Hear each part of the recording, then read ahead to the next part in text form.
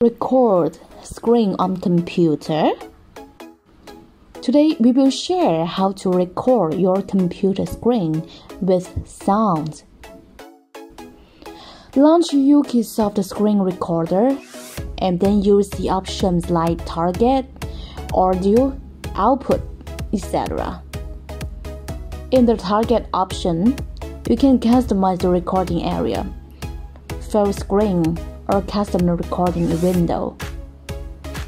Go to audio, you have to choose the source of the recorded audio. If you want to record some game tutorials, you can choose computer sound and microphone. These are based on your needs. Open the setting gear. Here are some options you can customize. Click video at the top.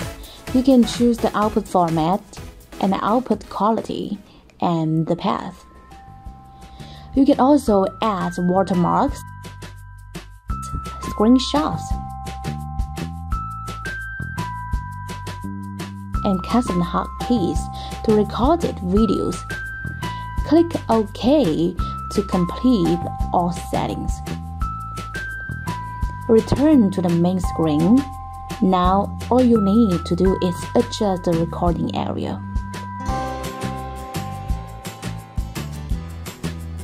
Click on Record to start recording your computer screen. During recording, you can pause, start, and stop recording at will. After the recording is complete, navigate to the output path. You selected and view the recorded video.